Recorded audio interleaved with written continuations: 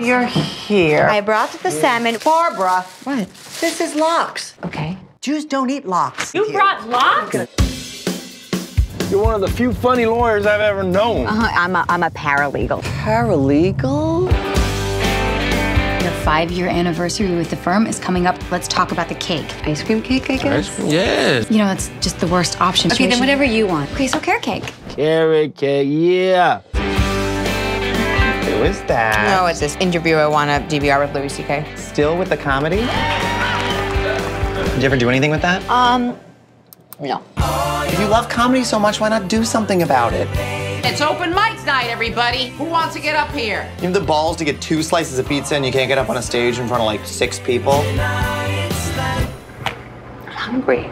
Is this Improv 101? I am super pumped to take you on your wild virgin improv adventure. I've been taking improv classes and I'm kind of good at it. A class. You need a career. Why is it always my fault? I never said that. I just suggested it. you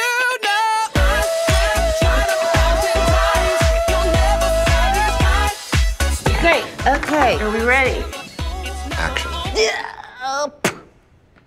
What are you doing? Again. Hmm. Take two. I